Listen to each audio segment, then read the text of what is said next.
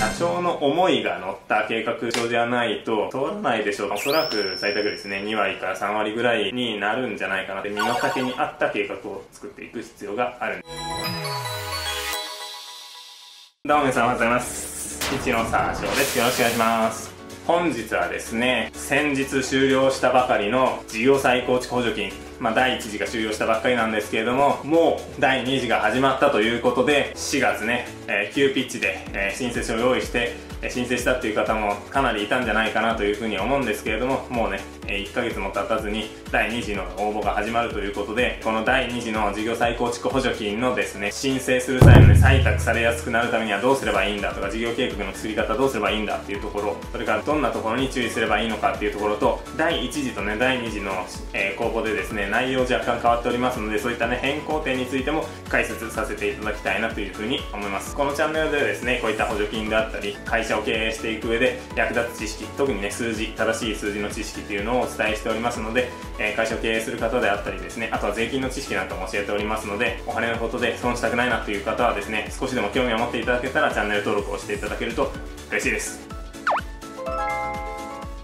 ということでですね、本題事業再構築補助金の話させていただきたいなというふうに思います。もともと第一次公募っていうのが4月末までだったんですけれども、非常に申請期間短かったので、最終日に申請する人っていうのがすごい多いんですね。なので、そこであまりにも申請が集中しすぎて、実はサーバーがパンクして、ネットに繋がらなくなりまして、申請できない状態になっちゃったんですね。っていうので、実は1週間延長されまして、5月7日が、まあ、1対1時の締め切りになったんですけれども、まあ、そんなねバタバタした状態だったんですが5月20日にですねまた第2次の公募が始まりまして、まあ、第1次間に合わなかったっていう方もですね第2次これから申請書、まあ、計画事業計画作って申請したいという方もかなり多い、まあ、問い合わせもねすごい多くいただいておりますのでまたねこの事業再構築補助金の話をさせていただきたいなと思っております。まずね、えー、この事業再構築補助金の特徴について、ま、簡単におさらいしておきたいなというふうに思います、ま、ま思い切った企業の、ね、事業再構築を支援するっていう目的で出される補助金なので、まあ、ものづくり補助金とかね従来の補助金みたいに今やっている事業を今よりね革新的なサービスを提供しようとか今やってる事業を、まあ、さらにねステップアップするようなものではなくて全く新しい事業を始めるっていう方に出る補助金なんですね。で結構ですねこの第一次申請の時に補助額がですね通常枠っていうので最大6000万円までの補助金が出るっていうことで、まあ、その額がめちゃくちゃ大ききいので注目されてたっていうのがありまして結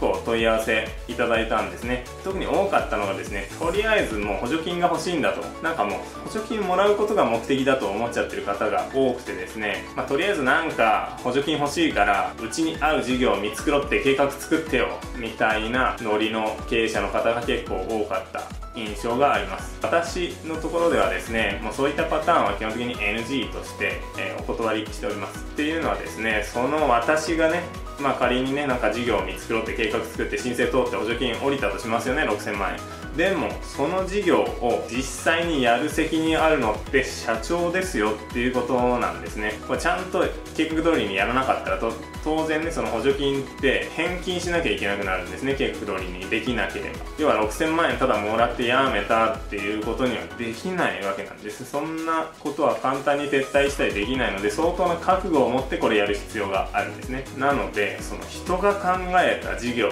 社長本当にやれますかと私が計画作作ってそれやれるんですかっていう話ですよね。まあ普通の人はできませんそんなことは。なのでうちの事務所ではですねまあこれこれこういうことをこことここね、えー、社長考えてくださいねとちゃんと事業計画社長の方である程度考えてくださいねとここここ埋めてくださいねっていう形で、まあ、資料を渡してですねそれをある程度社長に考えていただいて、まあ、それを叩き台として経営計画を一緒に作り上げていくっていうような形で、えー、申請させていただきました。やっぱりですね社長の思いが乗った計画書じゃないとまず通らないでしょっていうのが正直なところですね。はい。というかですねその社長の思いがない計画なんかですねその事業やっても絶対失敗するのでその計画そもそも通しちゃダメですよっていうのはあると思います。まあ、事業再構築補助金っていうのは、まあ、思い切った事業転換を支援って言っている通りですね基本的に新規事業なんですね。なのでリスクが高めなですね新市場であったり新製品、まあ、新分野に進出するっていうことを後押しするっていう補助金なんですね。そもそも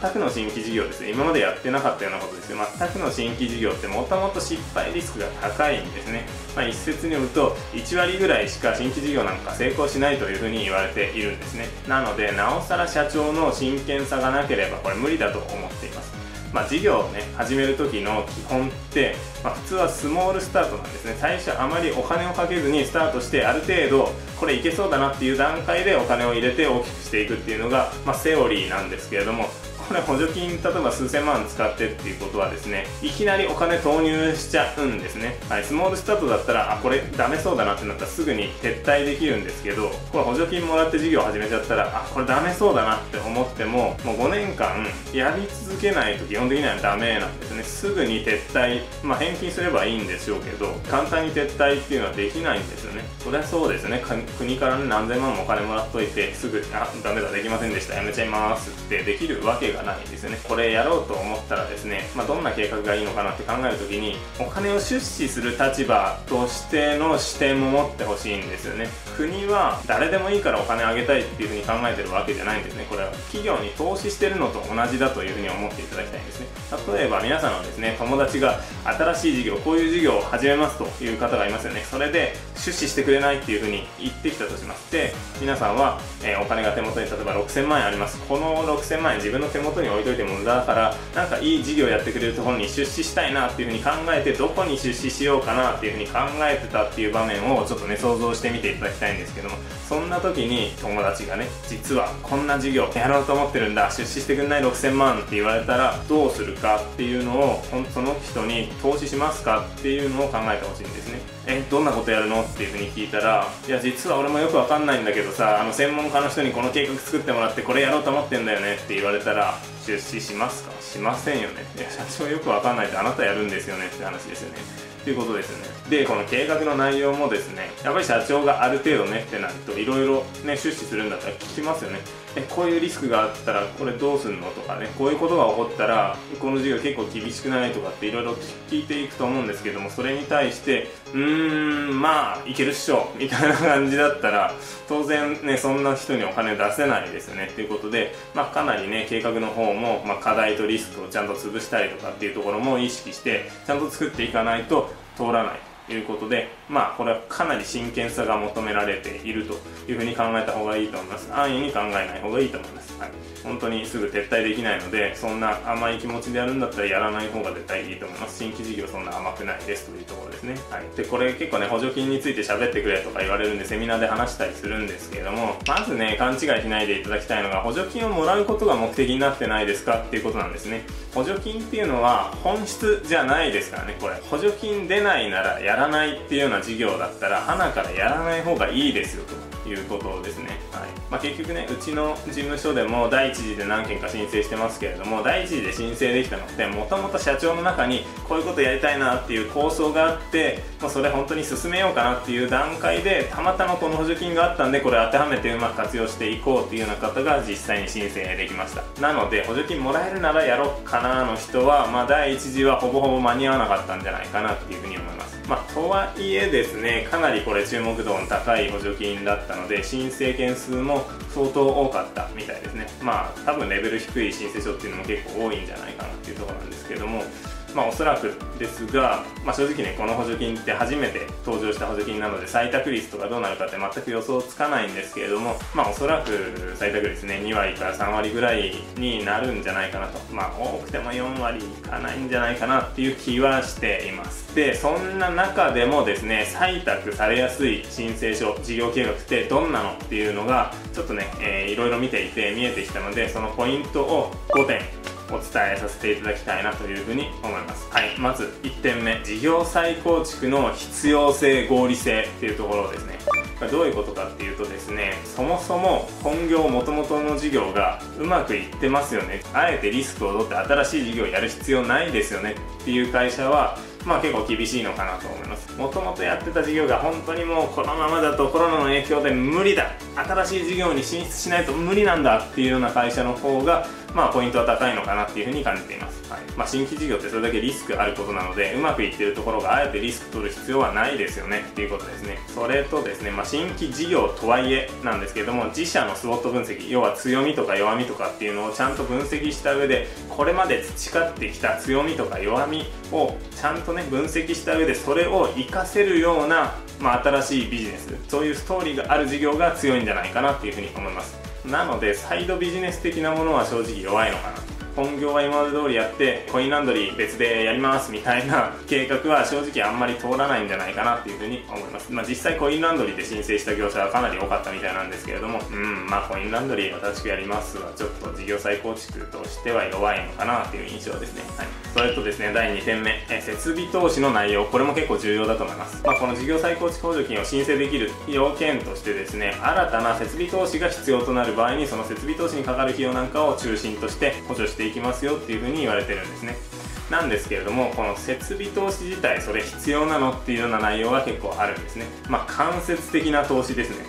例えば倉庫であったり研修センターっていうもので、え、出してる人今回結構多いんですけれどもまあそれってね事業再構築の定義からするとですね間接的ですね。直接的に収益を生むわけではないのでそういった倉庫とかね研修センターっていうものは。まあ、それだとちょっと弱いのかなっていう印象はあります。またですねそういったものって簡単に他の事業に、ね、流用できちゃうんですよね、まあ、一番いいのはその事業に専用で、まあ、この新しく始める事業にしか使いませんよっていうのが、まあ、今回一番いい投資だというふうにされていますのでっていうかそもそもですねもともとやってた事業に転用できるものはダメですよっていうふうに言ってるんですね、まあ、これはこれこれこういう理由で新しい事業にしか使わないんですよって、まあ、計画に書くんですけれどもやっぱり使えてしまうものっていうのはちょっと設備投資の内容として弱いのかなというふうに思います。次採択のポイント3つ目。ビジネスモデルの説明。やっぱりですね数千万円単位の補助金をもらうっていうふうに考えるとそれだけのねお金をかけてやる意義がある事業なんですかっていうところはちゃんと説明できないとまずいんじゃないかなと思います。まあ、その新しく始める事業に対してねこういうこういうシステムに投資するんですよとかっていういろいろ、まあ、システム投資なんかも結構今回多いんですけれどもそのシステム本当に入れる必要あるんですかその事業にっていうところ。ですよねこれ補助金出なかったらそのシステム入れないんじゃないみたいなものはちょっと弱いんじゃないかなと思います。その投資しなくてもできるよねっていうようなものは正直ね評価としては下がっていくんじゃないかなっていうところですね、はいまあ、あとはそのねどんなサービスをお客さんに提供して料金モデルはどうなのかちゃんと市場調査してますかとかねそれだけのお金本当に取れる根拠はあるんですかっていうところは説明していく必要があるのかなと思います、まあ、そのビジネスモデルの実現可能性ですね。そういったところはちゃんと根拠を持って説明できるようにしておかないとなかなか通らないのかなというふうに次採択のポイント4つ目課題とリスクの分析はちゃんとできていますか？っていうことですね。まあ、この事業計画のね実現性っていうところに深く関わってくるんですけれどもこの、えー、事業再構築補助金を使ってやる事業っていうのはこの会社にとってね初めてやる事業なんですよね。なので、まあ、いろんな課題が、えー、事業スタートした後出てくるはずなんですよね。そういった生じうる可能性のある課題っていうのをちゃんと全部洗い出してそのリスクを課題をね潰してますかっていうところですね。これを計画で絶対示す必要があるんじゃないかなと思います。これ当然ですよね。これとこれをこういう風にやれば絶対に成功するっていうことはないんですけれども、まあ、失敗っていうのはある程度見えるんですよね。これやったら絶対失敗するなっていうのは分かるわけですね。その失敗するっていうところをちゃんと潰してますかっていうことですね。それしてなきゃ失敗するよねっていうことなのでまあ、ここはかなり重要じゃないかなと思います。課題を全部洗い出し潰している。成功する確率極限まで上げる努力をしていますかということをですね。はいこれは絶対にやっていただきたいなと思います。まあ、やっていただいて計画にそれを示す必要があるということですね。計画書の中に入れていく必要があるということです。そして、えー、採択のポイント。5つ目費用対効果。とはですねこれかなり大きい金額の補助金を出すわけなんですけれどもこの補助額に対して付加価値増加額つまり利益がどれだけ増えるのかっていうところの費用対効果っていうのは重要じゃないかなと思います。つまり6000万円会社に、補助金出しました。毎年利益その6000万円を使って30万円利益が増えるんですっていう人に出資しますかっていうことですね。この6000万円回収するの200年もかかるのっていうことですね。そうなってくると、はい。まあ、そんな事業ではまあ通らないですよね当然。はい。6000万円出すならそれなりの利益を出せるような事業になっていないとまあお金出す側としては出す意味ないよねっていう判断になるのでまあ、ちゃんとね、えー、この大きなお金を使う費用対効果があるのかっていうところは事業計画の中で示して必要性があるんじゃないかなと思います。あとはですね年商に対する投資額が過大すぎる場合なんかは結構厳しいのかなと思います。どういう意味かっていうと今まで頑張って1000万円売り上げ上げてましたという会社がですねいきなり6000万円の補助金使ってこれやれば10億円の売り上げになるでっていう計画を出してもですね本当にあなたそれできますかっていうふうに見られてしまうっていうことですね。はい、今まで頑張って1000万円ぐらいしか上がらなかったんですよね。いきなりこれね6000万円入れたからといってあなたの能力で10億円本当に上がるんですかということをですね。さらにそれをやるにあたってはですね、まあ、3分の2補助金出るって言っても最初はまず自己資金で出して全部使った後で補助金出るんですね。まあ、マックス6000万円もらうためには9000万円使ってそのうちの3分の2の6000万円を後から補助金としてもらえる。つまり最初の9000万出さなきゃいけないんですけど手元に9000万持ってる会社ってほとんどないので金融機関からの融資で、まあ、最初事業をやることになるんですけれどもあなたの会社の実力で金融機関9000万貸してくれますかっていうことなんですよね。まあ、貸してくれないですよねっていうふうに思われていたらですね補助金ねこれ採択しても実現しないので採択する意味ないよねっていうふうに見られてしまうので、まあ、あまりにも自分のね会社の規模に合わない過大な投資になってたりとか大きい事業になってたりっていう計画であるとおそらく通らないというふうに思いますので身の丈に合った計画を作っていく必要があるんじゃないかなと思います。はい、というのがですね採択のポイント5点でした。はいまあ、今ね述べたような5つのポイントを意識しながら計画っていうのを作っていただくと採択されやすくなっていくんじゃないかなというふうに思います。えそしてですねえ最後に第2次公募で第1次からの、ね、変更点っていうのがいくつかあるのでその変更点について、え、お伝えして、え、今日の動画終わりとさせていただきたいというふうに思います。じゃあ第2次公募の変更点ねまずですね1つ大きな変更点として1個加点要素っていうのが追加されていますこれが何かっていうとですね経済産業省が行う EBPM エビデンスベースドポリシーメイキン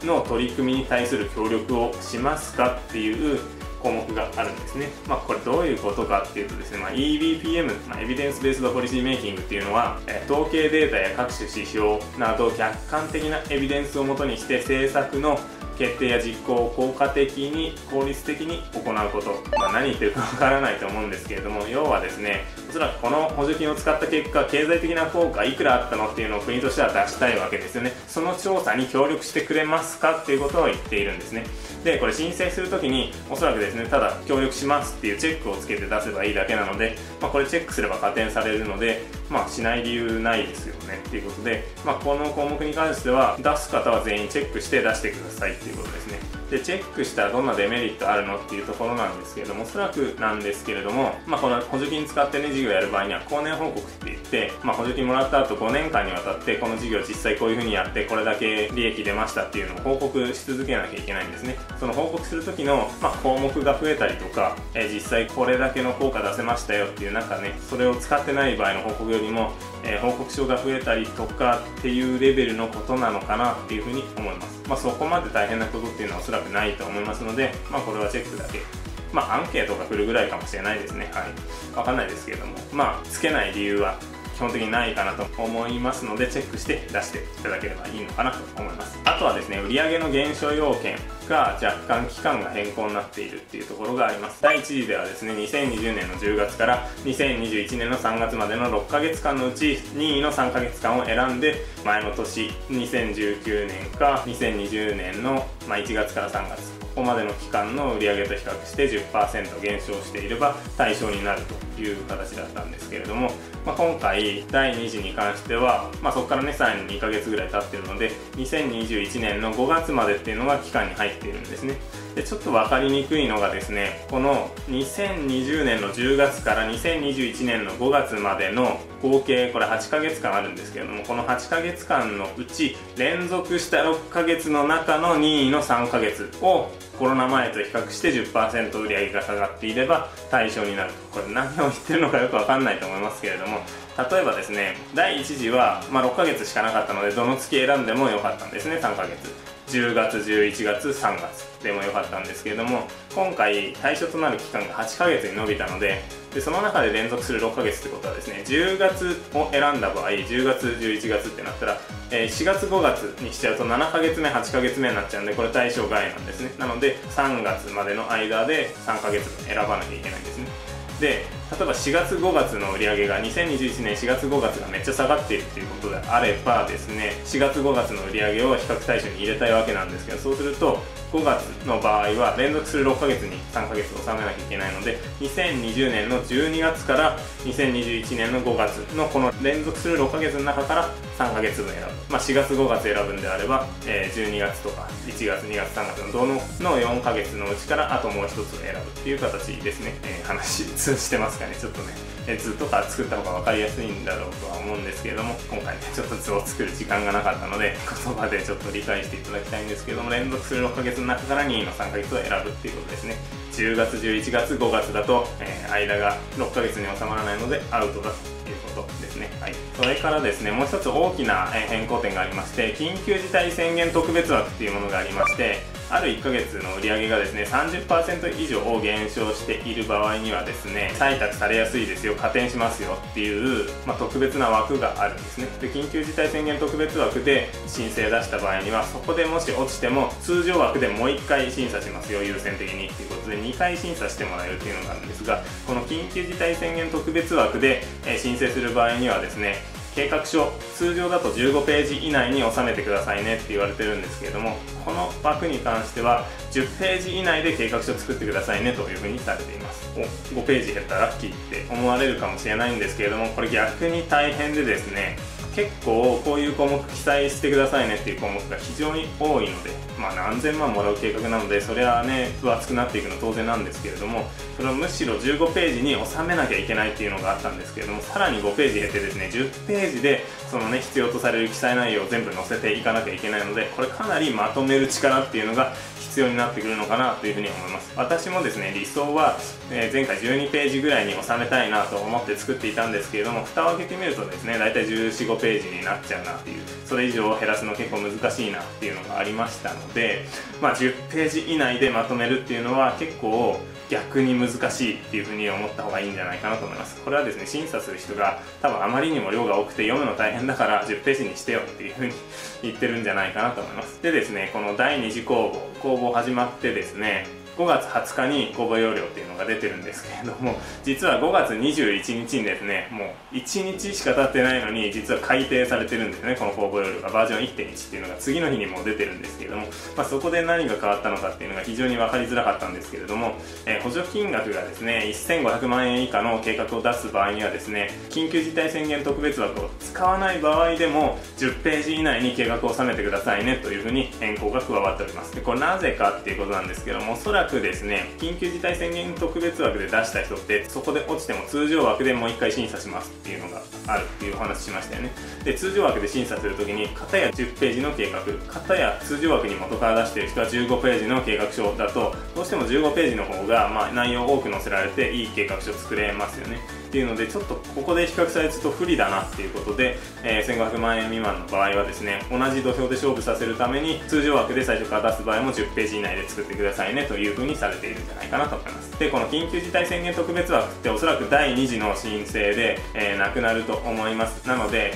この枠をどうにか使いたいなっていうふうに考えている方はですね、まあ、この第2次7月2日が締め切りになりますのでそれまでに申請していただくことをお勧めします。あともう一つ注意が必要なのが事前着手っていう制度がありりまして通常の補助金っていうのは採択されてから事業を始めていいですよっていうことになってるんですけれどもこの事業再構築補助金に関してはですね2月15日以降であればすでに事業を始めちゃっていてもですねまあ、後から申請通れば補助金出しますよっていう風にされてるんですね。なんですけれどもこの事前着手、まあ、申請書出せば OK ですよってされてるんですがその事前着手の制度が第3次以降の応募だとなくなる可能性がありますので2月15日以降にすでに計画ある程度進めちゃってるっていう方に関してもですねぜひこの第2次に間に合うように申請していただいた方がいいんじゃないかなと思います。というところがね、え第2次公募での主な変更点となっております。今回この第2次のね公募要領を公表されるにあたって最初はですね実は5月10日頃に公表しますって言っててそれがですね5月12日頃に公表しますって2日伸びたんですね。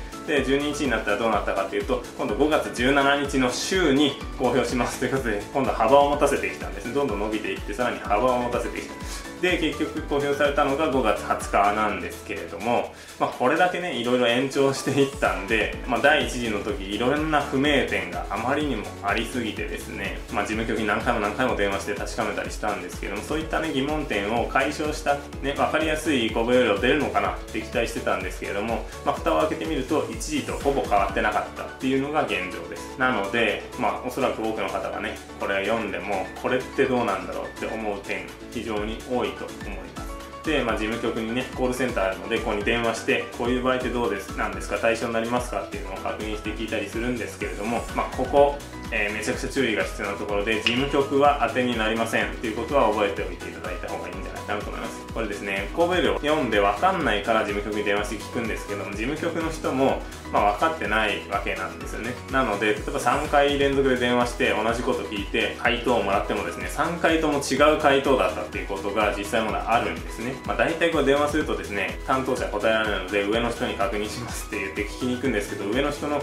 見解も全員違う。しかも上の人は何らか答えを出してきたりするんですけれどもそれが全員違うということで非常に立ちが悪い、まあ、そもそもですねそれに関しては答えられませんみたいな公募要領を読んでいただいて判断していただいて認定支援機関の方と話し合って考えてみてくださいみたいなことを言われるんですけど私が認定支援機関ですって言うんですけれどもこれ本当にですね、まあ、正直この公募要領だと判断できないなっていうポイントがめちゃくちゃ多かったですしそれ2時でも変わっていませんということなのでまあおそらくねまた事務局に質問するっていう場面が多く出てくるのかなって思うんですけれども事務局の方の、まあ、この方たちがね頑張ってやってるので申し訳ないんですけれどもあまり信用できないなというのが正直なところです。なので、まあ、事務局に質問するにしてもですね1回で OK って言われたからっていうふうに鵜呑みにせずですね何回か電話して同じ回答が、まあ、2回3回連続できたらあ OK なんだなっていうふうに思っていただいた方がいいんじゃないかなと思います。ただですねこの第2次になって、まあ、始まったばっかりで多分みんなあんまり真剣に取り掛かってないからだとは思うんですけれども最初第1次の時ってコールセンター全然電話つながらなかったんですね。30分とかかけても全然つながらないみたいな状態ですごいストレスだったんですけど第2次始まってすぐちょっと疑問点あったので電話したらですねすぐに電話つながりましてしかも最初回答得て「あ分かりました」って言って切ったらですねその後々事務局から電話かかってきて「すいませんさっきこういう風に回答しちゃったんですけど実は違いました」みたいな感じで折り返しわざわざ電話してきてくれたのでですね、まあ、事務局の対応はちょっと1時の時よりはいい感じに改善されているのかなというふうに思います。ただ回答の内容が正しいかどうかは正直わからないんですけれども対応は良くなったのかなというふうには思いました。はい、ということでね本日の内容は以上になるんですけれども、まあ、今日のね申請のポイントをちょっとね参考にしていただいて、えー、計画を作る際には今日ご説明した5点を意識して計画に取り掛かっていただきたいなというふうに思います。まあ、一説によるとですねこの認定支援機関と一緒に経営計画を作りなさいってされているので皆さんね、まあ、私もそうなんですけれどもこういう資格を持った認定支援機関という人に頼んでね計画作ってくださいってお願いしてる方多いと思うんですけれどもどうやらですねもうそういうプロが作った計画書は落とせっていうようなことを言っているとか言っていないとかっていうちょっと噂がありましてですねもうあまりにもこれは絶対プロが作り込んだやつだなっていうような計画書もしかしたら通りづらい可能性があります。そうじゃなくてもう多少下手くそでもいいから経営者がちゃんと作ったね思いのある思いのこもった計画書の方が通りやすいっていう可能性も今回あるのかなっていうところがちょっとねまあ、確信は持てない情報ですけれどもそんな話も入ってきていたりするのでですね、まあ、丸投げでなんとなく見繕ってやっといてよ補助金欲しいからっていうんじゃなくてねこの事業です成功したいんですっていうような思いのこもった計画書を今日のポイント5つを参考にして作っていただけるといいんじゃないかなというふうに思います。はい。ということで本日は、えー、以上になります。ちょっとでもですね、こういった情報が参考になったということであったり、まあ、今後もね、どんどん経営に役立つ情報を配信していきますので、えー、こういった情報気になるよっていう方はですね、チャンネル登録をしていただけると嬉しいです。ということで、ありがとうございました。最後までご視聴いただきありがとうございます。えー、この動画が少しでもいいねと思った方はチャンネル登録とグッドボタンよろしくお願いします。また動画概要欄から LINE アットの登録もよろしくお願いします。では次回の動画お楽しみに。